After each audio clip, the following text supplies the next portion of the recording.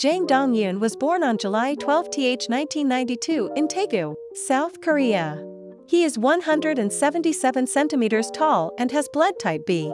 His Instagram is at donjiacompany.official. He currently has 134k on Instagram. His zodiac sign is Cancer. His family consists of mother, father, older brother, and his cat. After finishing high school, Dong Yoon began his mandatory military service in May 2012 and was discharged in February 2014. Dong Yoon attended Hanyang University to obtain an economics and finance degree. He originally wanted to study Korean literature, but when he applied for this major, he was rejected. In 2015, while studying at Hanyang University, Dong Yoon was reported in the media for his bravery. It was reported that he had come across a robber with a lethal weapon threatening a convenience store clerk in Seoul's Gwanak district, and that he devised a quick plan to have the culprit arrested.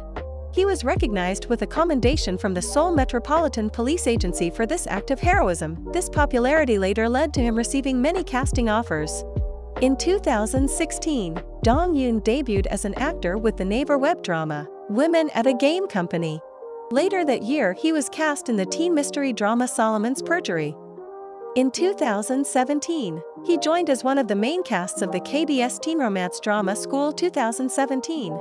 The same year, he starred in the KBS drama special, If We Were a Season. In 2018, he was cast in the leading role for TVN's medical drama A Poem a Day. The same year, he played a supporting role in the historical drama Mr. Sunshine. In December, he starred in the youth drama Just Dance for which he won the Best Actor in a one-act special short drama excellence award during the 2018 KBS Drama Awards. In 2019, Dong Yoon starred in the historical romantic comedy drama titled The Tale of Nokdu along with actress Kim So-hyun. He gained recognition and increased popularity for his role as the cross-dressing protagonist. He won the Excellence Award Actor in a miniseries at the 2019 KBS Drama Awards and Best New Actor Award at the 7th APAN Star Awards. On December 29, 2020, he fell off a horse while filming Joseon Exorcist. He had no serious injuries, but the shooting had to come to a halt while Jang took some time to rest and recuperate. In 2021, Joseon Exorcist, a show where Dong Yoon was one of the leading stars, was cancelled after airing two episodes during the controversy over historical inaccuracies, such as incorrect use of Chinese traditional props.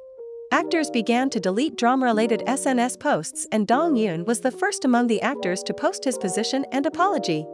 In 2022, Dong Yoon returned to the big screen with the film project Wolf Hunting, a return to the big screen in a year.